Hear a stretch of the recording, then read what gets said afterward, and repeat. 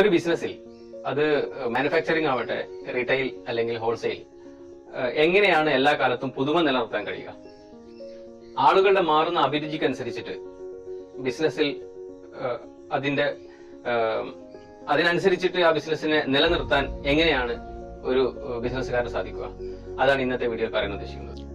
ഒരു ബിസിനസ്സിൽ അത് മാനുഫാക്ചറിംഗ് ആവട്ടെ റീറ്റെയിൽ ഹോൾസെയിൽ സർവീസ് ബിസിനസ്സുകൾ ഏതാണെങ്കിലും എല്ലാ കാലത്തും ബിസിനസിന്റെ പുതുമ നിലനിർത്തിയിട്ട് എങ്ങനെയാണ് മുന്നോട്ട് പോകാൻ കഴിയുക?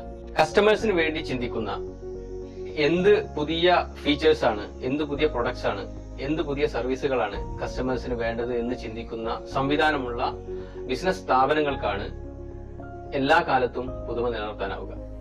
ഇങ്ങനെ കണ്ടെത്തുന്ന പുതുമകൾ പുതിയ സർവീസ് ആയും പുതിയ പ്രൊഡക്റ്റ് ഫീച്ചറായും പുതിയ പ്രൊഡക്റ്റ് തന്നെയായും കസ്റ്റമേഴ്സിന്റെ മുന്നിലെത്തുന്നു ഉദാഹരണത്തിന് ഒരു കാർ നിർമ്മാണ കമ്പനി. നമ്മൾ കാർ വാങ്ങുന്ന സമയത്ത് കുറച്ച് മുമ്പൊക്കെ പവർ വിൻഡോസ് ഒരു പുതിയ ഫീച്ചർ ആയിരുന്നു അന്ന് ഇൻട്രൊഡ്യൂസ് ചെയ്യപ്പെട്ടിട്ടുള്ള. അത് കസ്റ്റമേഴ്സ് ഡിമാൻഡ് ചെയ്തിട്ടല്ല. അത് കമ്പനി ഐഡന്റിഫൈ ചെയ്താണ്. വിൻഡോസ് പവർ പവേർഡ് ആയിട്ടുള്ള വിൻഡോസിന് കസ്റ്റമേഴ്സിന് ആവശ്യമുണ്ടാവും. അങ്ങനെ പവേർഡ് ആയിട്ടുള്ള വിൻഡോസ് ഇൻട്രൊഡ്യൂസ് ചെയ്തു.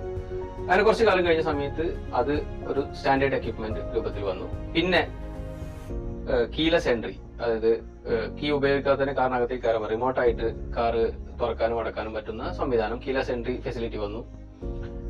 അത് കുറെ കാലം ഒരു ഒരു അഡ്വാന്റേജ് അഡ്വാന്റേജ് ഉള്ള ഫീച്ചർ ആയിട്ട് ഒരു ന്യൂ കാർ വാങ്ങാൻ പ്രേരിപ്പിക്കുന്ന ഒരു ഫീച്ചർ ആയിട്ട് കാറിന് ഉണ്ടായിരുന്ന ഒരു സംഗതിയാണ്.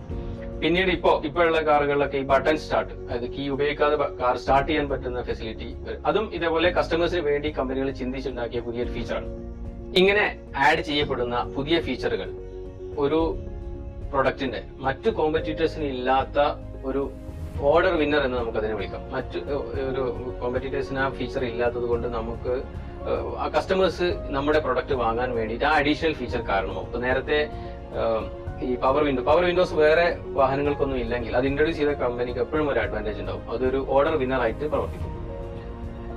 ഇങ്ങനെ ഓർഡർ വിന്നർ ആയിട്ട് കുറച്ചു കാലം പോകുന്നതിന്റെ ഇടയിൽ തന്നെ സമാനമായിട്ടുള്ള ടെക്നോളജീസ് കോമ്പറ്റീറ്റേഴ്സ് ഒക്കെ വരാൻ തുടങ്ങും. അതോട് കൂടിയിട്ട് അത് ഓർഡർ വിന്നർ എന്ന് പറയുന്ന സ്റ്റാറ്റസ് അത് നഷ്ടപ്പെടും. അത് പിന്നീട് ഓർഡർ ക്വാളിഫയർ ആവുകയാണ് ചെയ്യുക. അപ്പോ പുതിയ ഒരു ഓർഡർ വിന്നർ ഫീച്ചർ നമ്മൾ കണ്ടെത്തേണ്ടി വരും. അത് എപ്പോഴും ഈ മാനുഫാക്ചറിംഗ് സർവീസിലും ഈ നിരന്തരമായിട്ടുള്ള ഇന്നോവേഷന്റെ പ്രസക്തി ഇവിടെയാണ് വരുന്നത്. ഈ ഓർഡർ കൃത്യമായി പാലിക്കുന്ന അഥവാ പുതിയ ഒരു ഫീച്ചർ ഐഡന്റിഫൈ ചെയ്ത് പ്രൊഡക്റ്റിനോ സർവീസിനോ അല്ലെങ്കിൽ ട്രേഡിംഗ് ബിസിനസ്സിലാണെങ്കിലും പുതിയ ഒരു സൗകര്യം കസ്റ്റമേഴ്സിന് കൂടുതൽ താല്പര്യമുള്ള പുതിയൊരു സൗകര്യം ഇൻട്രൊഡ്യൂസ് ചെയ്യുന്നു.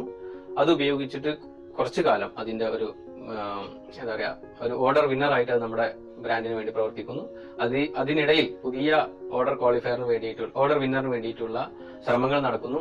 ഈ ഇൻട്രൊഡ്യൂസ് ചെയ്യപ്പെട്ടിട്ടുള്ള ഓർഡർ വിന്നർ ഓർഡർ ക്വാളിഫയർ ആകുന്നതിനിടയ്ക്ക് പുതിയ ഓർഡർ വിന്നർ റെഡി ആവുകയും അത് ഓർഡർ ക്വാളിഫയർ ആകുന്ന മറ്റെല്ലാ കമ്പനികളും വന്ന് നമ്മുടെ പ്രൊഡക്റ്റിന്റെ സ്റ്റാൻഡേർഡ് ഫീച്ചറായി മാറുന്ന ആ സമയത്ത് തന്നെ പുതിയ ഒരു ഫീച്ചർ ഇൻട്രൊഡ്യൂസ് ചെയ്യും. അത് കുറച്ചു കാലം ഓർഡർ വിന്നർ ആയിട്ട് പ്രവർത്തിക്കും. ഈ ഒരു സൈക്കിൾ നിലനിർത്താൻ കഴിയുന്ന കമ്പനികൾക്കാണ് പുതുമ നിലനിർത്താൻ. അങ്ങനെയുള്ള കമ്പനികളാണ് എപ്പോഴും നമ്മൾ അവരുടെ പ്രൊഡക്റ്റുകൾ വാങ്ങാനാണ് നമ്മൾ ഇഷ്ടപ്പെടുക.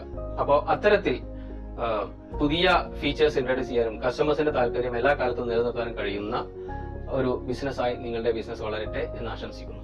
Thank you very much